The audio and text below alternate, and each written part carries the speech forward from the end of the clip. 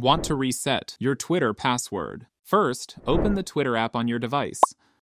Look at the top left corner and click on the profile icon. A few options will appear. Scroll and click on the Settings and Privacy option. Again, a few options will appear. Tap on Your Account. Next, click on the Change Your Password option. Now, enter your current password in the respective block. After that, type the new password and re-enter the new password in their respective blocks. Next, look at the top right corner and click on Done. It will take a few seconds and the password will be updated. If you're not logged into your account, then in the app homepage, click on Forgot Password. Next, enter the username or email in the respective block and tap on Next. After that, it will send a verification code to your logged email. Now, type and enter the code in the block then. Click on Next.